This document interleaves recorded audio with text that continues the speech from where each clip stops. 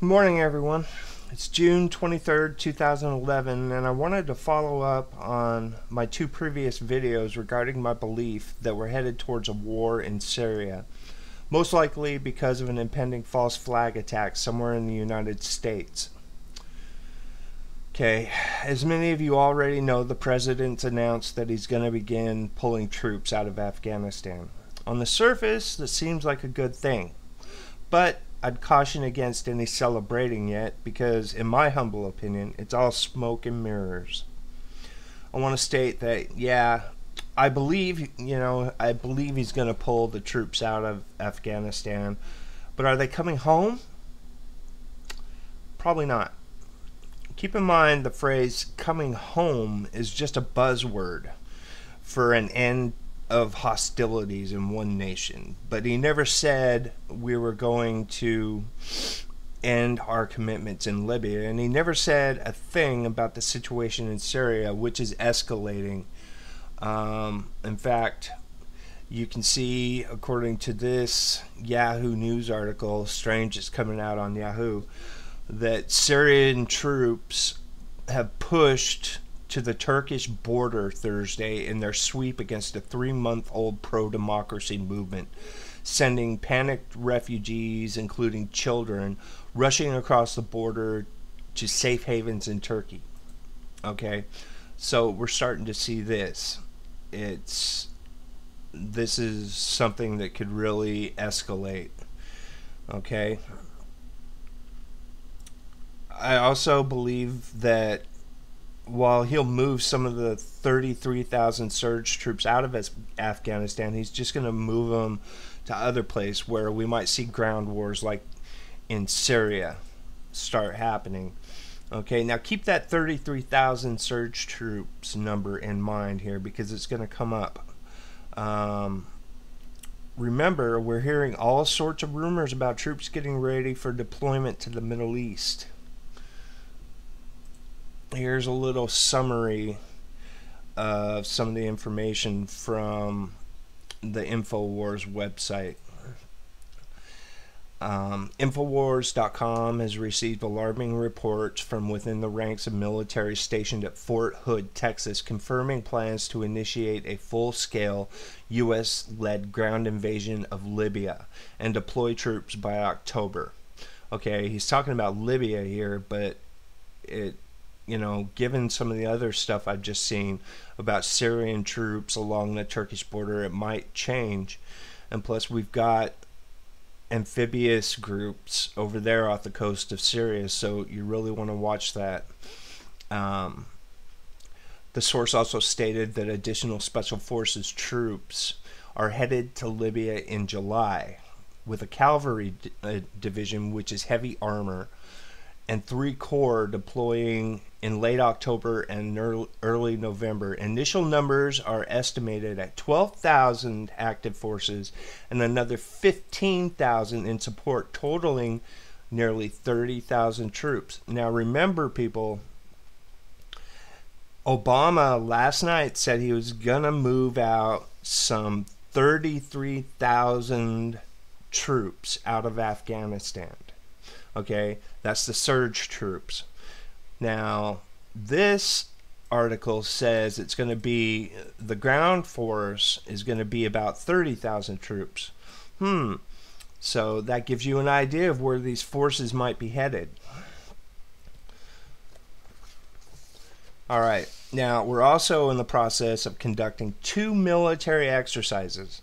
As I mentioned in other my other videos, Operation Mailed Fist and Operation Eagle Horizon. Now, check this out. This is that CNN article headed to the beach, heads up for an invasion force.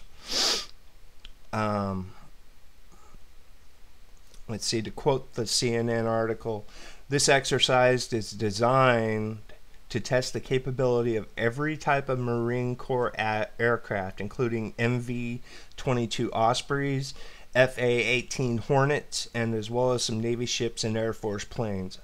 Now, apparently, this is becoming an international exercise with other ships from, now I think, England and France. Keep in mind that this is a massive operation that looks more like an invasion than a simple test of aircraft capabilities. Why bring ground forces and other equipment into play if you just wanted to find out what your aircraft were capable of? Doesn't make sense to me. Why make it a massive drill on the East Coast where there is no precedent for such an exercise? It's odd, you know. It seems to run counter to the president's desire to focus on efforts at home, efforts at home, unless, now this is just bald speculation on my part, the drill is more about preparing to repel an invasion force from some other country, you know, like Russia or maybe China.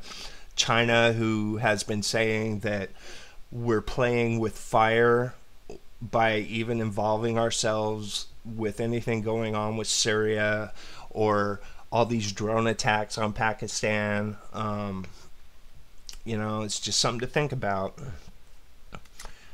you know, I might be reading too much into what he said, but, you know, maybe I'm not.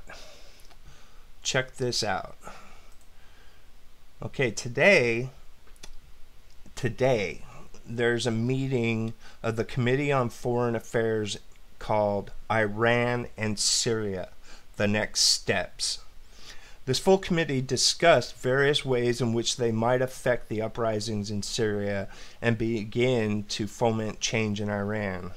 Okay? Um, it's even been talked about on Yahoo. Let me read this to you.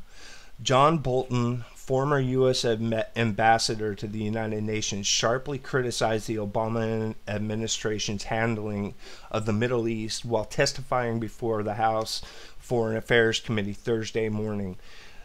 He focused on Iran and Syria, laying out steps the United States should take to prevent two governments from acquiring the two governments from acquiring nuclear weapons. He also had strong words for current U.S. policy toward Israel.